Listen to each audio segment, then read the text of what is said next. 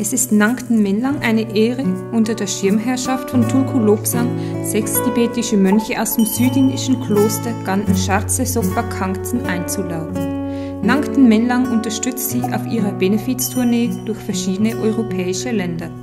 Die Mönche werden unter anderem Sandmandalas streuen, Konzerte geben, farbenfrohe Klostertänze aufführen und klösterliche Rituale darbieten.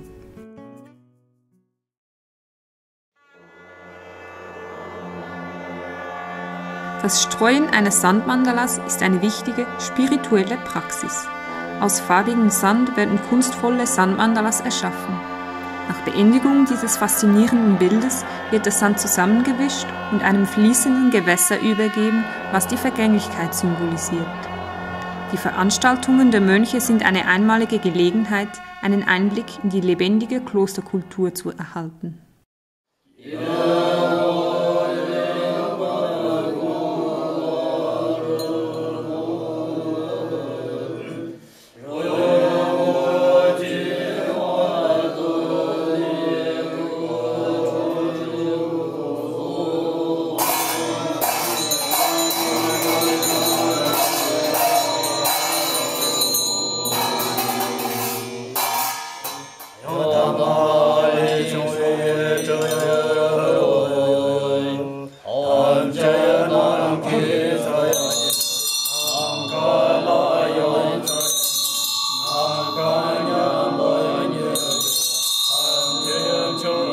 안녕하 세.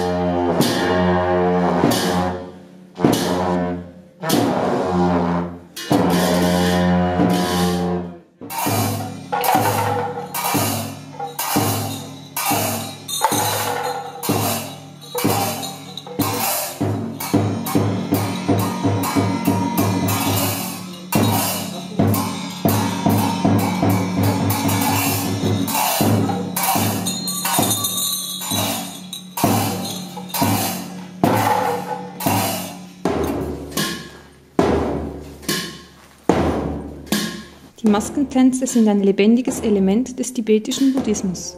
Die ausdrucksstarken Bewegungen, begleitet von rituellen Gesängen, Trompeten und Trommelklängen, zeigen verschiedene Aspekte der buddhistischen Weisheit.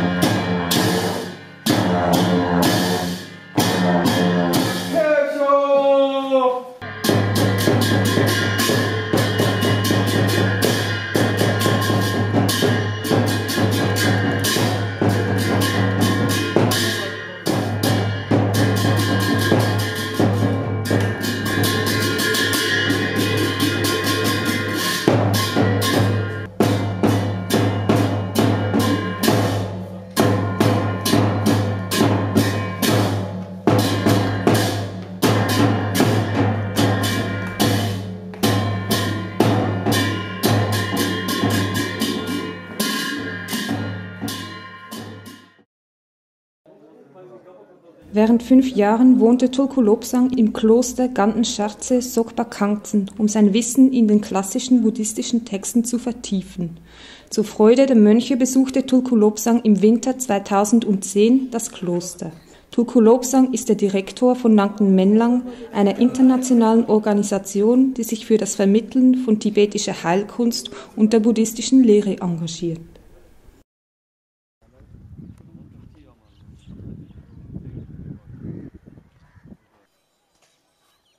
Das Sokpa Kangtsen platzt aus allen Nähten. Es werden dringend neue Wohnräume sowie sanitäre Anlagen benötigt. Den Mönchen wurden finanzielle Mittel zur Verfügung gestellt, damit sie den Grundstein für ein neues Wohngebäude legen konnten. Tulku Lobsang hatte die Möglichkeit, die Baustelle zu besichtigen. Für die Fertigstellung des Gebäudes sind die Mönche auf finanzielle Unterstützung angewiesen. Sie hoffen, während ihrer Europatournee genug Geld zu sammeln, damit die Bauarbeiten beendet werden können. Wir, Nangten Menlang, Tulku Lobsang und die Mönche sind ihnen dankbar für jede Unterstützung.